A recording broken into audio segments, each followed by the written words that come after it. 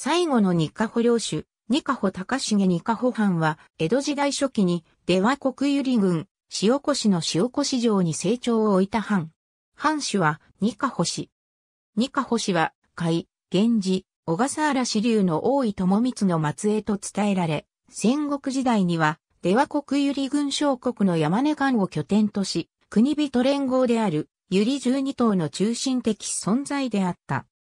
由里十二島は状況に応じて、大宝寺市、小野寺市、安藤市などの戦国大名と同盟を結び保身を図っており、その十二夜は明らかではないが、二カ保市、赤津市、滝沢市、岩屋市、内越市、下村市、石沢市、根根市、片野市、小吉市、玉兵衛市、矢島市などの諸市であるという。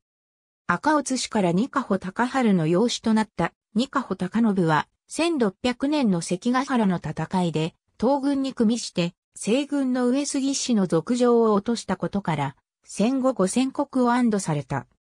1602年に日立国武殿へ違法されたが、大阪の陣などでも徳川方として功績を挙げたことから、1623年10月18日、給料である二カ保に1万国を与えられて諸侯に列し、二カ保藩を立藩した。陣屋は、かつての山根藩ではなく、塩越城に置いた。なお、巨誠の弟の二カ保一馬も大砂川500国を与えられている。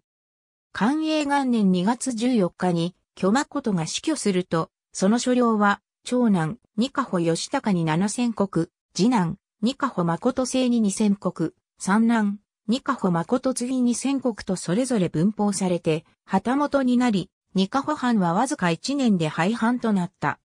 寛永5年に主目が、同8年に両春が死去し、両家は無つぐ断絶したが、誠清流と誠次流は平沢に共通の二カ保陣屋を置いて存続し、明治維新を迎えた。戸様、一万国。高信参考までに、以後の旗本、二カ保氏の歴代当主を挙げる。ありがとうございます。